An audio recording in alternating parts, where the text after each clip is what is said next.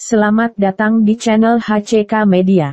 Baik sahabat HCK Media sebelum kita lanjut ke tips berikut ini jangan lupa klik tombol like, subscribe, dan loncengnya.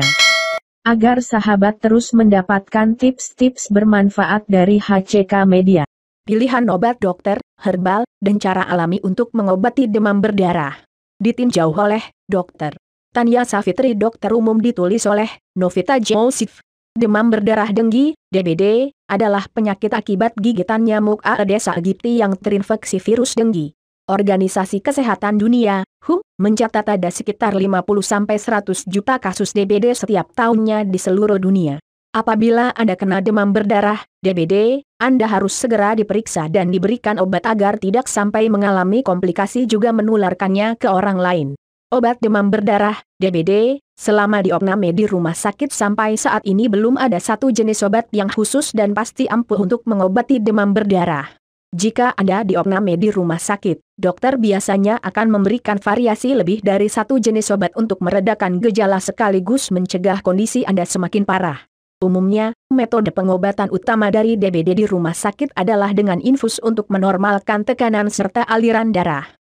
Infus juga berfungsi untuk mengembalikan cairan tubuh yang hilang guna mencegah risiko dehidrasi dan shock. Berikut adalah obat lain yang juga biasa diberikan dokter untuk menangani DBD, terlepas apakah Anda diopname atau dirawat di rumah. 1. Paracetamol. Acetaminophen, paracetamol, biasa digunakan untuk mengurangi demam serta meredakan nyeri sendi dan otot, lesu, juga tidak enak badan akibat penyakit ini. Namun, jenis obat pereda nyeri seperti aspirin, ibuprofen, salisilat, serta golongan NSAID lainnya tidak boleh dipakai untuk mengobati demam berdarah. Obat-obatan ini dapat meningkatkan risiko perdarahan. 2. Transfusi trombosit. DBD yang dibiarkan terus dapat membuat jumlah trombosit darah semakin sedikit. Nah, untuk itu kadang diperlukan transfusi trombosit pada kasus tertentu. Transfusi trombosit bukanlah obat, melainkan metode perawatan untuk menambah jumlah keping darah selama kena demam berdarah. Menurut dokter Leonard Dainggolan, SPPD KPTI yang ditemui oleh Hello Sehat 29-11, tidak semua pengidap DBD perlu mendapat transfusi. Transfusi trombosit hanya dilakukan pada pasien yang jumlah trombositnya jauh di bawah 100 ribu L. Selain itu, transfusi trombosit hanya dilakukan pada pasien yang mengalami gejala perdarahan berat, seperti mimisan yang tidak bisa berhenti dan buang air besar berdarah. Bila tidak terjadi perdarahan maka transfusi trombosit tidak dibutuhkan. Perawatan tambahan untuk membantu obat demam berdarah lebih efektif baik itu diopname di rumah sakit atau dirawat di rumah sendiri, biasanya dokter juga akan menyarankan Anda empat hal di bawah ini agar kerja obat DBD-nya makin efektif. 1 mengonsumsi banyak cairan. Setiap orang yang sakit DBD perlu mendapatkan banyak asupan cairan. Tidak hanya lewat infus, tapi juga dengan banyak-banyak minum air putih, makan sayur dan buah yang banyak airnya, seperti semangka, tomat, timun, dan jeruk, hingga makan makanan yang berkuah seperti sop ayam. Bagi orang sehat, minimal porsi air putih dalam sehari adalah 8 gelas. Namun, pasien DBD tentu saja butuh lebih banyak lagi apalagi kalau sampai mengalami perdarahan atau muntah-muntah. Maka, pastikan pasien mendapatkan asupan cairan putih yang mencukupi setiap beberapa menit. Jangan tunggu sampai haus. Dr. Vainer Dainggolan, SPPD KPTI menambahkan, obat yang paling dibutuhkan pasien DBD sebetulnya adalah cairan isotonik karena berfungsi lebih baik daripada air putih biasa. Cairan isotonik yang mengandung elektrolit dapat mencegah kebocoran plasma darah pada pasien DBD cairan wajib menjadi obat demam berdarah untuk menurunkan demam serta mencegah risiko dehidrasi dan shock. Selain itu, nyeri otot dan sakit kepala karena dehidrasi saat DBD juga bisa diobati dengan mengonsumsi cairan yang banyak. 2. Istirahat yang cukup. Selama diresepkan obat demam berdarah, orang yang sakit wajib hukumnya untuk istirahat total alias bed rest. Istirahat dapat membantu pemulihan jaringan tubuh yang rusak akibat infeksi demam berdarah. Jika diopname di rumah sakit, dokter dapat memberikan pasien DBD obat tertentu agar cepat mengantuk sehingga bisa istirahat sepenuhnya. 3. Makan makanan penambah trombosit. Selama masih minum obat, pengidap demam berdah tetap harus menomorsatukan kebiasaan makan sehat dan bergizi. Khususnya makan makanan tertentu yang dapat membantu tubuh menormalkan atau menambah kadar trombosit darahnya. Apa saja? Vitamin B12 Vitamin B12 membantu menjaga sel-sel darah tetap sehat dan menyeimbangkan kadar trombosit. Maka itu kekurangan vitamin B12 dihubungkan erat dengan gejala anemia. Anda bisa mendapatkan sumber vitamin B12 dari ati sapi dan telur. Hindari susu sapi dan produk olahannya seperti keju atau mentega. Meski tinggi vitamin B12, susu sapi dan produk olahannya justru dapat mengganggu produksi trombosit. Asam folat Asam folat membantu menambah produksi sel darah saat DBD menyerang, dan bisa diperoleh dari kacang-kacangan, kacang polong, kacang merah, buah jeruk, zat besi. Zat besi membantu tubuh Anda menghasilkan sel darah yang sehat. Anda bisa mendapatkan sumber zat besi tinggi dari makanan sehat berikut ini. Makanan laut seperti kerang, buah labu, kacang-kacangan, daging sapi, vitamin C, Vitamin C bisa meningkatkan jumlah trombosit dan bisa membantunya bekerja secara maksimal saat Anda terserang demam berdarah. Vitamin C juga dapat dikatakan sebagai obat DBD alami karena membantu Anda melawan infeksi dan menyerap zat besi, yang sama-sama dapat membantu meningkatkan jumlah trombosit. Asupan tinggi vitamin C bisa Anda peroleh dari buah mangga, buah nanas, brokoli, paprika hijau atau merah, tomat, kembang kol. Tidak hanya dari makanan, anda juga bisa menambah asupan vitamin C harian lewat suplemen vitamin. Saat terserang DBD, konsumsilah suplemen vitamin C sebanyak 500 mg selama 6-9 hari. Tanyakan lebih lanjut ke dokter mengenai aturan pakainya yang lebih jelas. 4. Suplemen zinc. Zinc adalah mineral penting yang dapat membantu memperkuat sistem kekebalan tubuh dan merangsang pertumbuhan sel sehat. Selain itu, zinc juga berperan penting untuk meningkatkan jumlah interferon dalam sel darah putih untuk melawan virus penyebab DBD. Dosis yang disarankan untuk suplemen zinc sebagai obat tambahan saat kena DBD adalah 25 mg satu kali setiap hari. Pilihan obat demam berdarah herbal.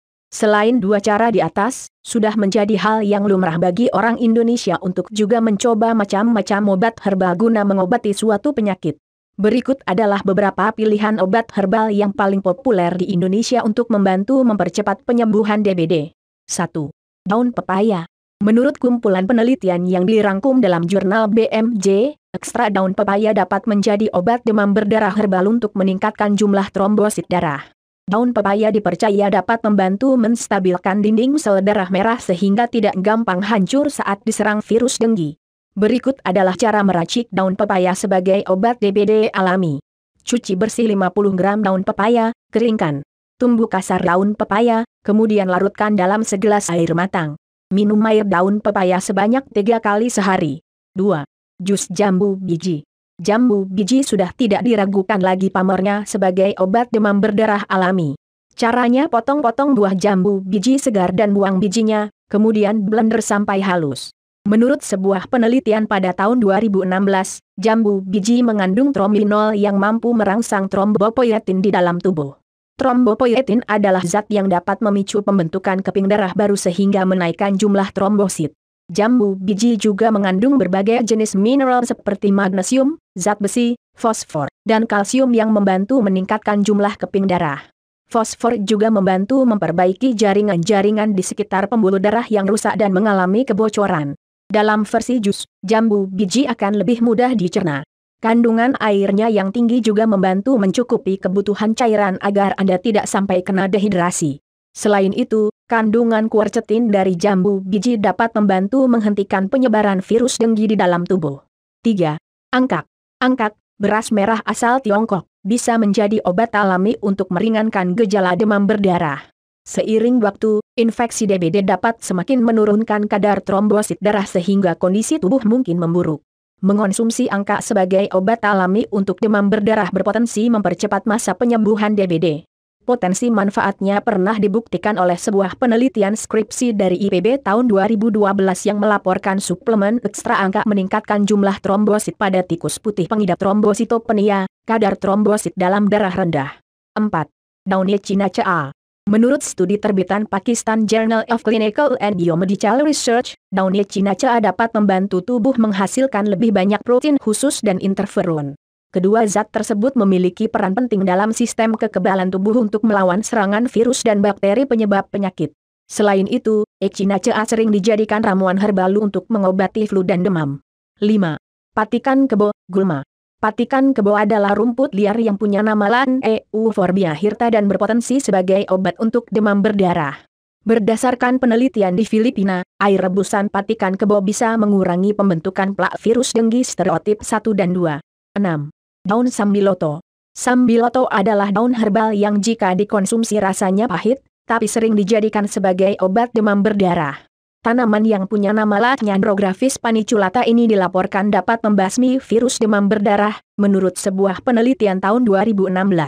Meski demikian, penelitian lebih lanjut dibutuhkan untuk menguji efektivitas sambiloto sebagai obat demam berdarah alami yang ampuh tanpa efek samping. 7. Kurma. Tidak banyak yang tahu kalau kurma juga bisa dijadikan obat alami buat mengobati gejala DBD. Kurma mengandung gula alami, seperti glukosa, fruktosa, dan sukrosa, yang terbukti mampu mengembalikan energi tubuh Anda selama masih demam.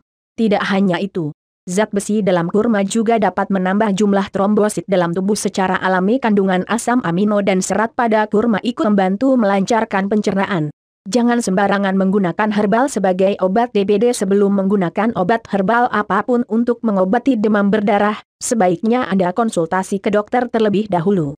Penggunaan obat alami dari bahan herbal bukanlah prioritas dan pengobatan satu-satunya yang ampuh menangani demam berdarah. Beberapa herbal di atas sifatnya kebanyakan hanya membantu penyembuhan, bukan untuk mengobati.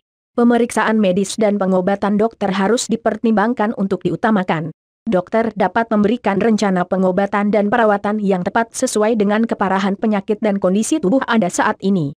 Terima kasih telah menonton.